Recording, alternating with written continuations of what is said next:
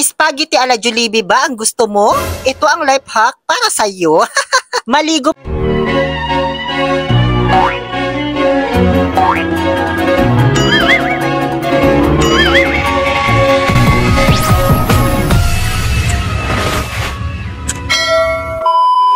Maligo magbihis at magsuot ng cap para pumunta sa Ramania at bumili ng sangkap. Malamang, paano ka magluluto kung wala kang mga sangkap? So, hello, hello, hello, mga ka-vertebrate? Bisexual ka ba? Di ba? Naguluhan ka na naman sa intro ko? Di mo expect?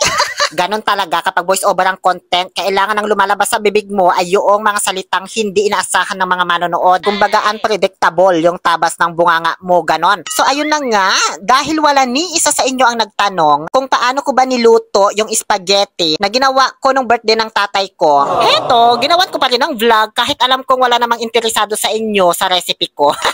Bakit ba? Page ko to, ipopost ko kung anong gusto ko.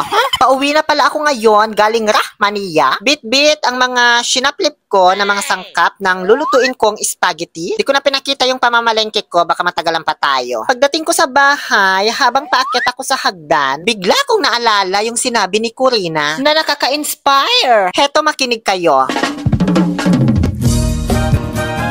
Walang nakakarating sa itaas nang hindi muna nagsisimula sa ibaba. Kaya ayan, bumaba ako ulit kasi nasa taas ako kanina eh, di ba? Ulitin natin from the down. Ganon ba yun, Corina? Kung patuloy nating pagsusumikap ang abutin ang ating sariling bitbit, patuloy din tayong aakyat bit-bit ang mga mabibigat na sangkap at mararating ang ating sariling bersyon ng espaghetti. Pababa, pataas.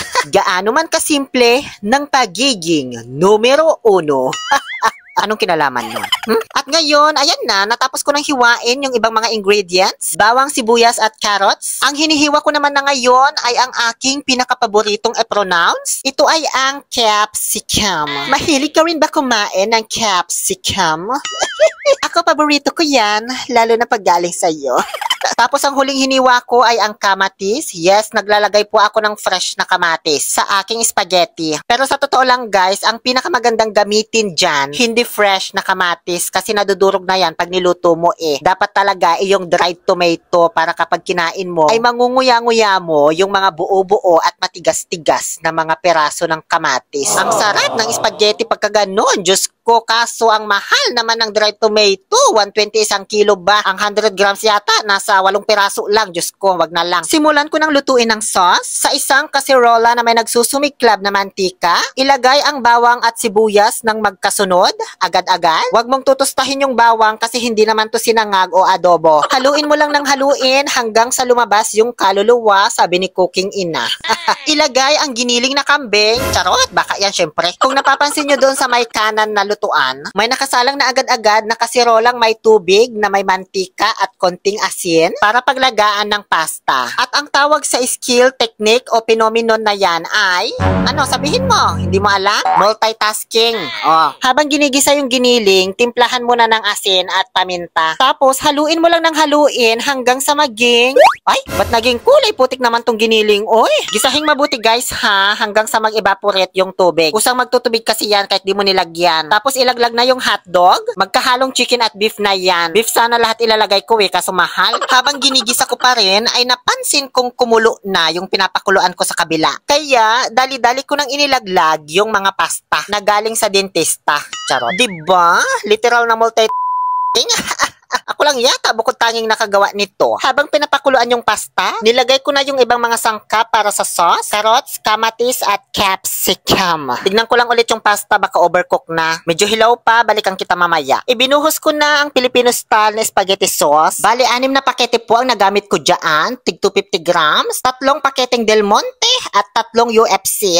Naubusan man kasi ako nung buy one take one na Del Monte. Kaya UFC na lang yung binili ko. Pareho lang naman yan na spaghetti sauce. Diyos ko. Okay na yung pasta. Kaya idirin ko na po ito tsaka sinantabi. Para yung focus ko eh nasa sauce na lang. Nalilito na ako eh, di ko alam unahin ko. Alam nyo guys, sa totoo lang, matagal ko ding inaral yung paggawa ng spaghetti sauce na ito bago ko nakuha yung timplang gusto ko. Dati naglalagay ako ng ketchup, evap, condensed cream, pero ngayon hindi na. Asukal na lang nilalagay ko para tumamis-tamis siya. Kasi alam naman nating lahat na kapag maasim yung spaghetti mo, eh lalait-laitin ng mga nakikain. Lalo na kapag may handaan, Diyos ko. Ichichismis ka talaga nila na maasim yung handa mong spaghetti. Bukod pa dun sa Graham na hindi mo daw nilabas sa rep nung sila yung dumating.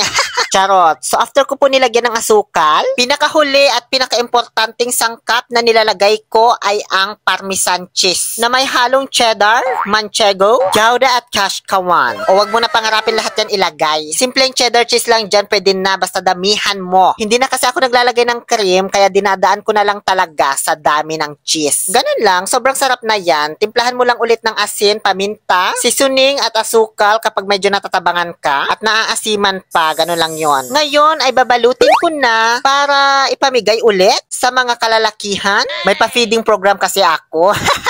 Charot. Pero syempre, di ko na ipapakita sa inyo isa-isa kung sino man yung mga nabigyan ko. Dahil ayaw ko na ang kinikilig kayo. Dapat ako lang. Charot. May isa pala sa dulo, abangan ninyo dahil magugulat kayo sa isang malaking revelasyon.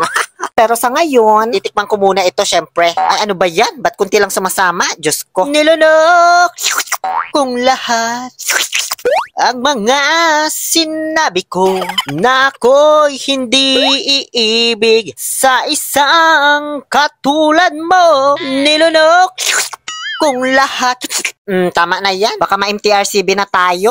So para po sa mga kababayan natin dyan sa Albay o kahit mga OFW na taga Albay or may mga kamag-anak sa Albay na gusto magpa-customize ng cake para sa birthday, binyag, debut, wedding o kahit na ano pang okasyon, puntahan nyo lang po ang page ng Sides Homemade Cakes and Pastries. Mag-send lang po kayo ng message sa kanila kung gusto nyo pong mag-inquire. Nag-offer din po sila ng surprise car at food package page para sa mga gustong sorpresahin ang kanilang mga mahal sa buhay na nasa Albay. Ang kagandahan dito guys, bukod sa mga magagandang design tulad ng nakikita ninyo, ay quality din talaga yung lasa ng mga cake nila dahil may sarili silang bake shop. Sila din mismo ang gumagawa. Very affordable pa ang price. Kaya ano pang inaantay ninyo, mag-inquire na sa Sides Homemade Cakes and Pastries.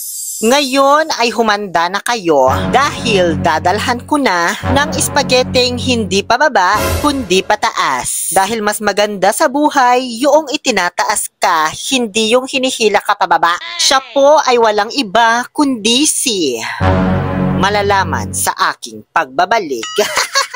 Charot. Siya po ay walang iba kundi si Gerald doesn't understand. Sana magustuhan mo. at mag-iingat ka sa bagong lugar na tatahakin mo. Hanggang sa muli nating pagkikita sa panahong hindi ko alam. Pero sa ngayon, anim na letra, isang salita. Paalam. Maraming salamat sa panonood. Muli, this is your Happy Pill, Oliver Castro. Ang baklang turo kong magmahal pero laging iniiwan, laging sinasaktan. Kaya heto, nag-vlog na lang na nagiiwan ng mga katagang. No to toxicity. Let's make people happy.